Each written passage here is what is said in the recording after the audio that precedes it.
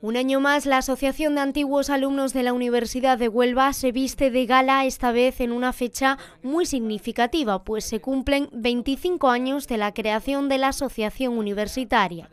Como ya es costumbre y este año en el campus del Carmen de la Universidad de Huelva se otorgaron los premios del Día del Antiguo Alumno 2024. Premio a la entidad social a la Asociación Caminar. Premio Universitario al investigador y docente de la onubense Pedro Pérez Romero. Premio a la Cultura y las Artes Manuel Masera al Nobel Artista Cinematográfico Omar Banana. Premio al Deporte a las integrantes del Sporting Club de Huelva. Premio a la entidad onubense al periódico provincial Huelva Información. Premio empresarial al gran profesional Pepote Percusión. Premio Alumni al antiguo alumno distinguido Felipe Arias Palma y premio 25 aniversario al gran promotor del onubensismo y exalcalde de Huelva, Pedro Rodríguez González.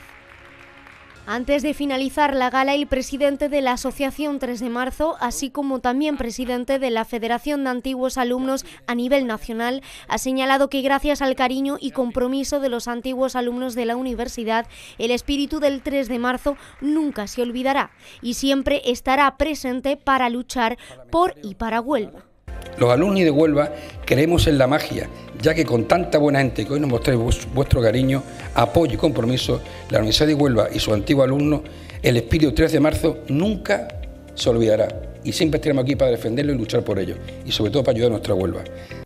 Además de darle la enhorabuena a todos los premiados y dedicarle a cada uno de ellos unas bonitas palabras.